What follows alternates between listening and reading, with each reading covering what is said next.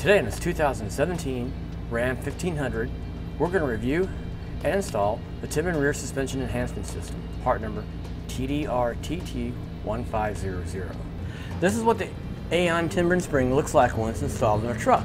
Now you can see it fits into a factory fitting right here, and it's almost an instant upgrade to your truck. Now sitting on here, you'll notice that it has a, a gap right here. The idea here is that when you're driving down the road, unloaded truck, the suspension can travel freely before it hits the spring here. And then when you do load your truck up, then the spring starts to work as needed. Now everybody knows that 1500 series trucks ride great going down the road. However, everybody else knows is that when you put your load in your truck and you want to use your truck like a truck, a lot of times the truck is going to sag down in the back and it's going to affect performance and handling. So this way is a good, easy way to improve that. So when you use your truck like a truck, what's going to happen is that this is going to make contact here.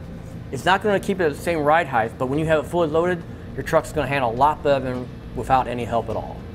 A couple key points about our spring here is that it is made out of complete rubber construction, but not, not just some rubber block that's here. It's actually designed into the design of it, how the bellow here, how the shape of it, it kind of goes in, gets wide, gets narrow again.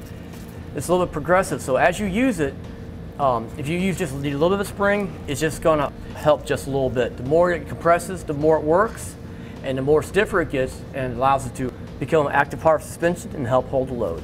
First step of our install is to remove existing jounce stop right here. Now sometimes you put a screwdriver in here to kind of pry it loose, but in this occasion, this one came out pretty nice. Getting our truck prepared, we need to actually raise the truck up a little bit off the suspension so the axle hang down and the bodywork goes and the frame goes up. I use a pole jack, but you can use anything you want to help lift it up as long as it's safe. To help us install the spring, I'm going to use a piece of 2x4. I'm going to lay it down where it would bottom out on the axle and put this on top, just for now to make sure I get enough room to put everything together. Now to make it easier to install, I'll spray it down with some soapy water, maybe get it started by hand. Once it stays there, it might pop out. If you have trouble having it sticking in there, that's okay because you can lower the uh, frame back onto the axle and then our piece of wood will take up the slack and push it up in there.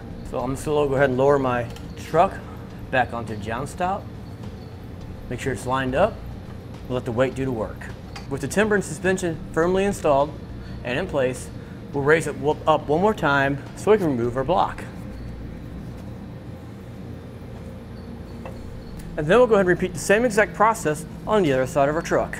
And that'll finish it for a Timbren rear suspension enhancement system, part number TDRTT1500 on this 2017 Ram 1500.